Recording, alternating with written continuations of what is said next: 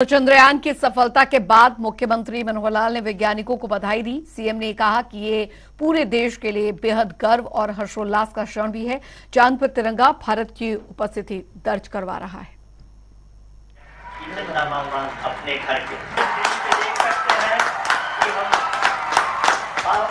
अरे वाह, मज़ा आ गया।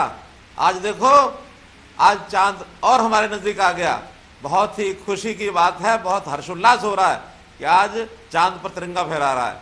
हमारा चंद्रयान तीन चाँद पर उतरकर भारत की उपस्थिति वहाँ दर्ज करा रहा है। इस महान अवसर पर आप सबको बधाई देते हुए इसरो व अपने वैज्ञानिकों के प्रति कृतज्ञता व्यक्त करता हूँ।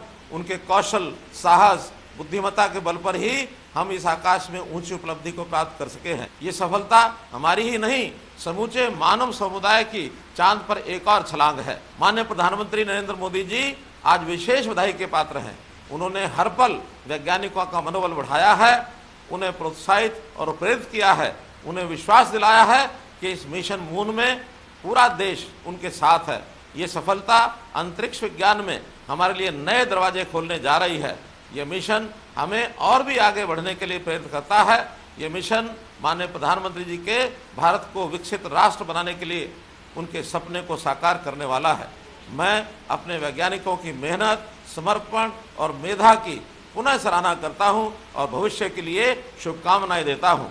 भारत माता की जय।